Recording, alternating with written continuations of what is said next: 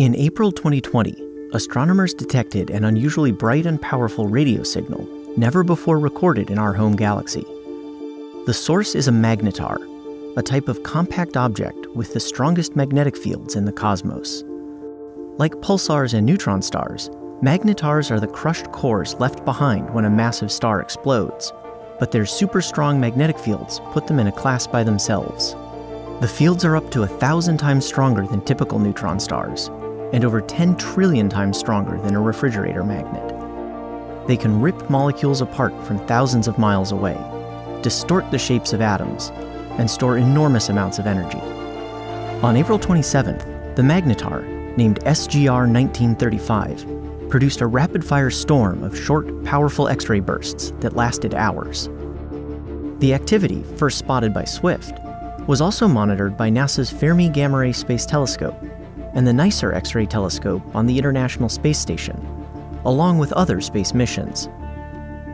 As the storm wound down early on April 28th, NICER recorded some 200 X ray bursts in just 20 minutes.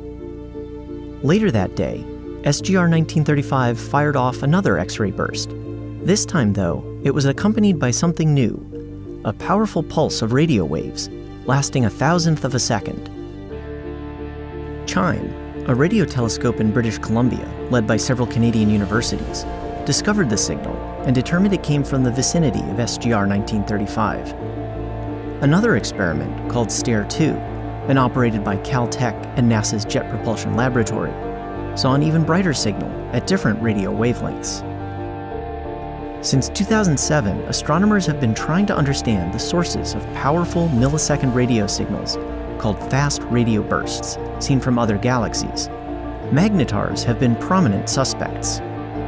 The duration and energy release of SGR 1935's radio signal is closer to fast radio bursts than any other source. For the first time, astronomers saw a magnetar in our own backyard produce a signal only previously seen in other galaxies. The discovery strengthens the case that magnetars are responsible for at least some fast radio bursts. Data from NICER and Fermi on X-ray bursts at the end of the storm showed that they differed from the one that coincided with the radio signal. This event's characteristics set it apart from the other eruptions, and further study may provide clues about how it also powered the radio burst. Radio waves from normal pulsars originate high above their surfaces. Exactly where and how, we don't know. A big eruption could launch a cloud of plasma to high enough that a radio burst could form. Never before have astronomers seen a fast radio burst so close to home.